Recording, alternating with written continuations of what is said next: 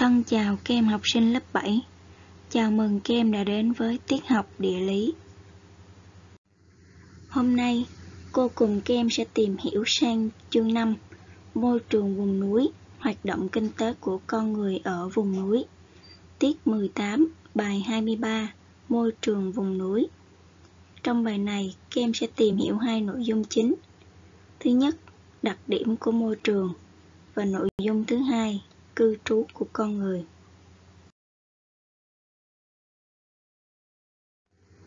Một nhỏ, đặc điểm của môi trường. Quan sát hình 23.1 Quan cảnh vùng núi Himalaya ở Nepal trong sách giáo khoa trang 74. Các em hãy mô tả quan cảnh trong hình này.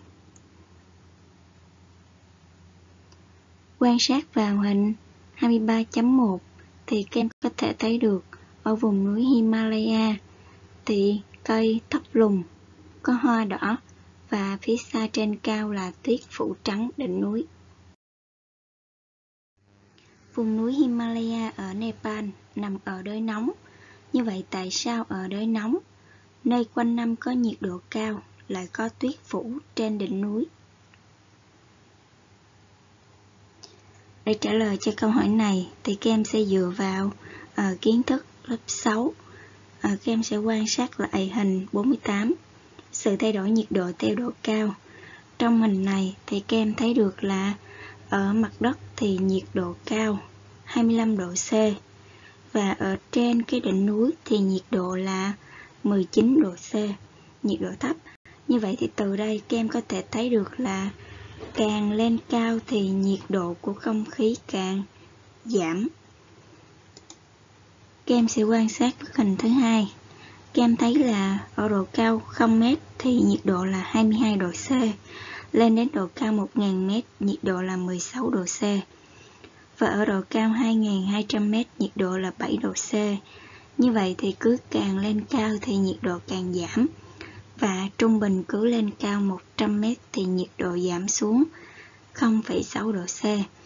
Chính vì vậy mà vùng núi Himalaya mặc dù là nó ở đới nóng nhưng mà à, trên đỉnh núi của nó vẫn có tuyết bao phủ quanh năm. Như vậy thì giới hạn có băng tuyết vĩnh viễn ở đới nóng và đới ôn hòa khác nhau như thế nào?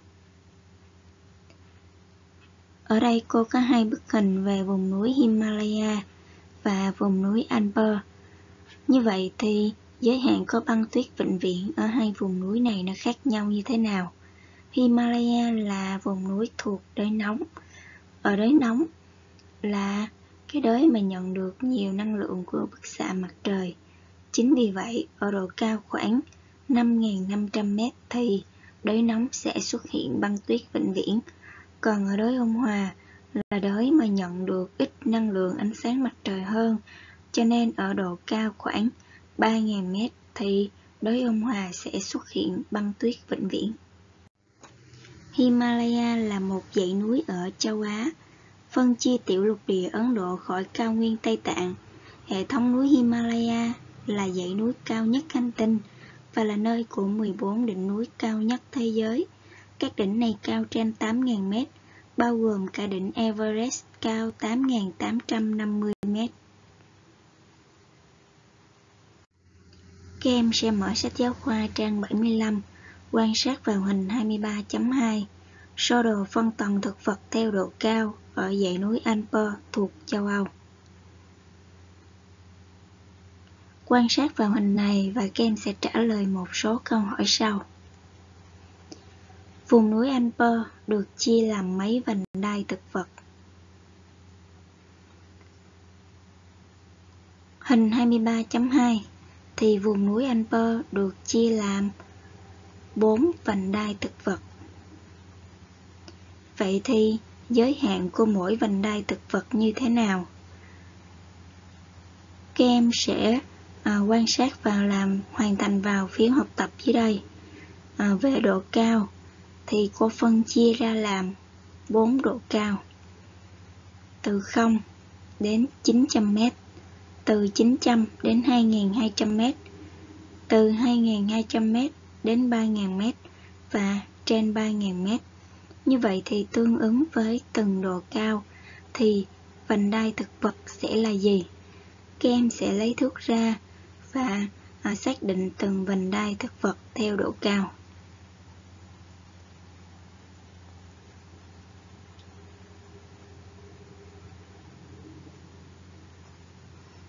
Đầu tiên là ở độ cao từ 0 đến 900 mét. Ờ, quan sát vào sơ đồ hình 23.2 thì kem có thể thấy được vành đai thực vật đó là rừng lá rộng và rừng lá kim. Tiếp theo, từ độ cao 900 đến 2.200 m thì vành đai thực vật đó là rừng lá rộng, rừng lá kim và đồng cỏ. Ở độ cao từ 2.200 đến 3.000 m thì vành đai thực vật đó là đồng cỏ và tuyết. Cuối cùng là ở độ cao trên 3.000 mét. À, đó là tuyết. Như vậy thì vì sao lại có sự thay đổi các vành đai thực vật như vậy?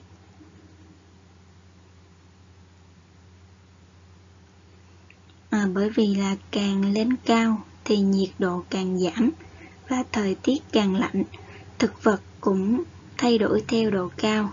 À, ví dụ như là ở độ cao từ 0 đến 900m thì à, nhiệt độ cao khí hậu ấm áp thuận lợi cho sự phát triển của rừng lá rộng. Lên ở những độ cao cao hơn thì khí hậu nó lạnh hơn lại thuận lợi cho rừng cây lá kim. Và ở độ cao à, trên à, 3.000 mét à, là thuận lợi cho tuyết phát triển Các em sẽ quan sát vào hình 23.2 và xác định sườn đón nắng và sườn quất nắng ở dãy Amper. Quan sát vào sơ đồ thì các em có thể thấy được hai sườn là sườn Nam và sườn Bắc và mặt trời thì nó mọc ở sườn Nam. Như vậy thì sườn Nam sẽ là sườn đón nắng và sườn Bắc là sườn khuất nắng. Các em hãy so sánh sự khác nhau về sự phân bố vành đai thực vật ở sườn đón nắng và sườn khuất nắng. Và các em sẽ hoàn thành vào phiếu học tập dưới đây. Theo từng độ cao thì vành đai thực vật tương ứng ở sườn Nam và sườn Bắc là gì? Đầu tiên thì các em sẽ lấy thước ra và xác định vành đai thực vật ở sườn Nam, tức là sườn đón nắng.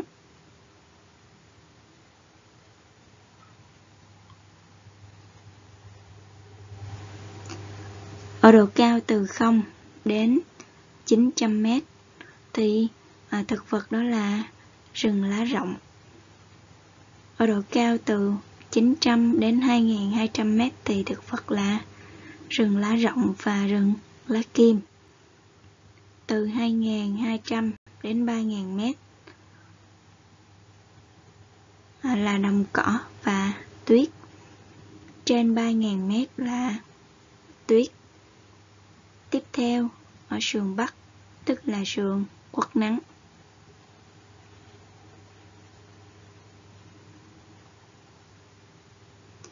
Ở độ cao từ 0 đến 900 mét thì à, thực vật là rừng lá kim. Từ 900 đến 2.200 mét thì thực vật là rừng lá kim và đồng cỏ. Ở độ cao từ 2.200 đến 3.000 mét thì đó là đồng cỏ và tuyết. Trên 3.000 mét là tuyết. Như vậy thì từ đây các em có thể rút ra được sự khác nhau à, giữa vành đai thực vật ở sườn đón nắng và sườn quất nắng đó chính là ở sườn đón nắng thì thực vật phát triển lên những độ cao lớn hơn so với sườn quất nắng. Do đâu mà vành đai thực vật ở sườn đón nắng được hình thành ở độ cao khác với sườn khuất nắng.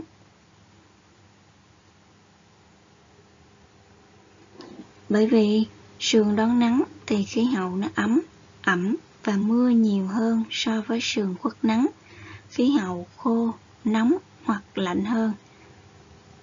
Từ đây ta cũng rút ra được kết luận đó là khí hậu và thực vật cũng thay đổi theo hướng của sườn núi. Sự phân tầng thực vật thành các đai cao ở vùng núi cũng gần giống như khi đi từ vùng vĩ độ thấp lên vùng vĩ độ cao. À, ví dụ như là ở khu vực xích đạo thì khí hậu ấm, ẩm, mưa nhiều thì thực vật tươi tốt phát triển hơn. Càng đi về à, phía vùng cực thì khí hậu, hậu lạnh, khắc nghiệt, à, thực vật thưa thớt và giảm dần. Dựa vào những nội dung trong sách giáo khoa cùng với những cái vốn hiểu biết của bản thân thì các em hãy nêu những khó khăn và thuận lợi của vùng núi đối với đời sống và sản xuất của con người. Về những khó khăn thì ở vùng núi thường xuyên xảy ra lũ quét, sạt lở đất, đi lại khó khăn, à, cùng với đó là gây khó khăn cho việc à, khai thác tài nguyên thiên nhiên. Ở vùng núi thì à, khí hậu lạnh lẽo và không khí loãng nên dễ dẫn đến việc thiếu oxy. Vào mùa khô thì cũng dễ xảy ra cháy rừng. Như vậy về khó khăn thì ở vùng núi thường xuyên xảy ra lũ quét, sạt lở đất, gây trở ngại cho việc đi lại và khai thác tài nguyên vùng núi. Khí hậu lạnh lẽo và loãng dễ dẫn đến việc thiếu oxy và dễ cháy rừng. Về những thuận lợi thì ở vùng núi à, có thể phát triển về du lịch, leo núi, trượt băng, xây dựng các cái đập thủy điện và à, có tài nguyên khoáng sản phong phú. Như vậy về thuận lợi thì vùng núi có thể phát triển du lịch, leo núi, trượt băng, thủy điện và có tài nguyên khoáng sản phong phú. Với những cái khó khăn của môi trường vùng núi như vậy thì các em hãy nêu một số những biện pháp để khắc phục những khó khăn trên. Biện pháp thiết thực nhất mà chúng ta có thể làm đó là trồng rừng, trồng cây và bảo vệ rừng.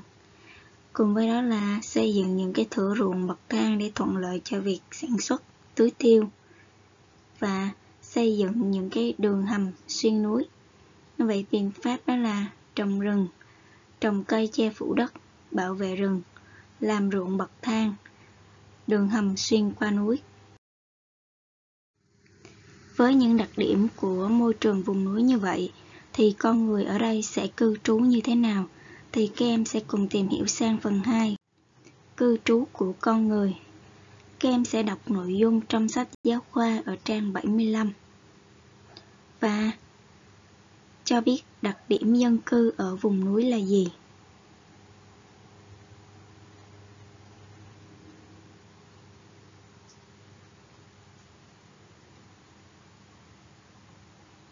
À, dân cư ở vùng núi có một số đặc điểm như sau. Các vùng núi thường là nơi thưa dân, là địa bàn cư trú của các dân tộc ít người và các à, dân tộc ở vùng núi thì thường sống men theo sườn núi hay dưới thung lũng. Người dân ở những vùng núi khác nhau trên trái đất có những đặc điểm cư trú khác nhau. Các em sẽ quan sát vào lượt đồ thế giới và chúng ta sẽ đi tìm hiểu về đặc điểm phân bố của các ờ, dân tộc miền núi ở trên thế giới. Đầu tiên là à, các dân tộc miền núi ở châu Á thì họ thường sống ở đâu và tại sao? Châu Á là nền màu vàng. Vậy thì các dân tộc ở miền núi châu Á thường sống ở vùng núi thấp vì nơi đây có khí hậu mát mẻ và có nhiều lâm sản.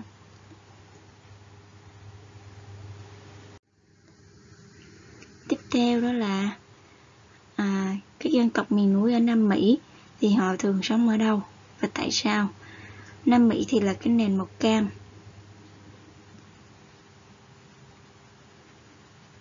Các dân tộc miền núi ở Nam Mỹ thì ưa sống ở những độ cao trên 3.000 mét vì nơi đây có nhiều vùng đất bằng phẳng, thuận lợi cho việc trồng trọt và chăn nuôi. Và các dân tộc ở vùng sừng châu Phi thì họ thường sống ở đâu và tại sao? Châu Phi là nền màu đỏ.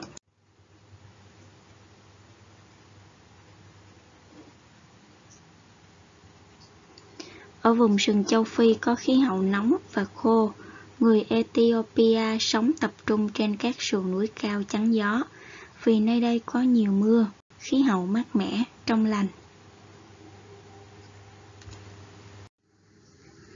Cô cùng các em vừa tìm hiểu xong bài 23, môi trường vùng núi. Các em sẽ ghi nội dung này vào trong vở ghi của mình.